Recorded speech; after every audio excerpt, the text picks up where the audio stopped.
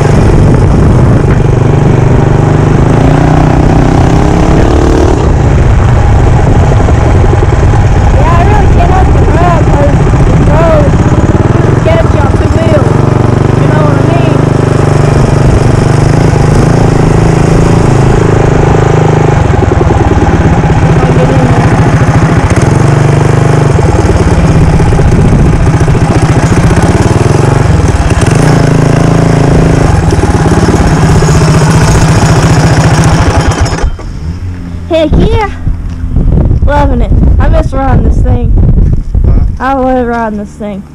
Yeah. I couldn't really get on it, so I hope it was alright for you guys, but it's alright. Especially right now, you know, it's snowing and icing here in Kentucky. But heck yeah. I'm loving it. And, um, so, uh, in the last video, this thing, if you remember, we, uh, it stopped working for some reason. It stopped trying to run and idle. And, uh, we were looking at it. Let's see if on, seal. We were looking at it. And, um, the intake runner was loose on the cylinder head. and we tightened it that one time and it still didn't run. But I was looking at it and uh and here's a gasket and it was gone. it was gone. So good. Yeah, so uh I don't know how it it you know it just vanished. Luckily it didn't go in the uh, motor, which is which would be catastrophic, but uh but heck yeah, she's running fine. She's running actually really freaking strong. So next time we'll try to get it in the woods.